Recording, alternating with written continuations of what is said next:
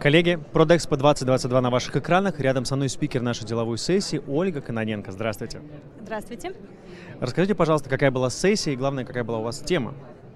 А, сегодня я рассказывала об эмоциональном маркетинге, а, что это такое, для чего он нужен, для чего он нужен ритейлеру и какие практические кейсы мы сделали как компания в России для крупнейших ритейлеров.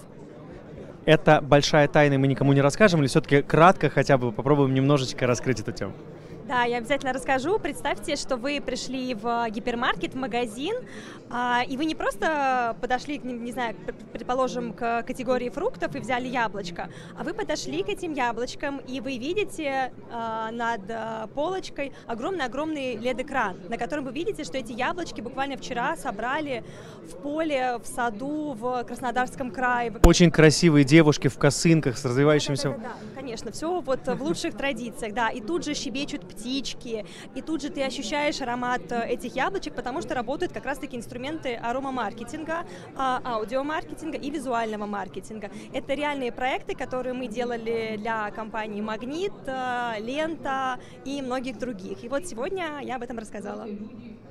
Уже здорово. Мне захотелось купить эти несуществующие пока еще яблоки, потому что так красиво рассказали.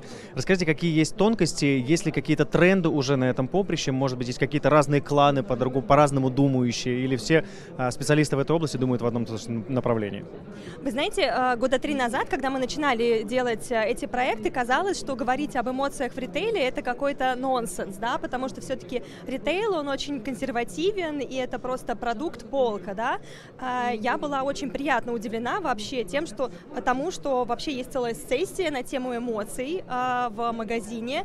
И сегодня спикеры до нас и после нас, они рассказывали о том, как, что это нужно. Поэтому сейчас выглядит так, как будто бы все сообщество уверено в том, что нужно давать покупателям что-то большее, кроме того, что вот э, продукт, цена, полка. Это очень приятно, и я так понимаю, что тренд будет э, распространяться дальше. И мне кажется, от этого все выигрывают. Э, покупателю приятнее приходить в магазин, где о нем заботятся, заботится, где ему дают какую-то дополнительную ценность.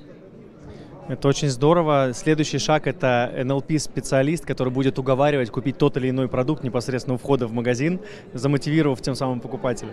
Да, все верно. На самом деле сегодня тоже была после нас интересная сессия а, на тему счастливых а, продавцов, счастливых сотрудников, о том, что это тоже, естественно, очень-очень сильно важно. Счастливые продавцы делают а, более высокую выручку. Это тоже часть процесса, помимо всего прочего, поэтому, конечно, да.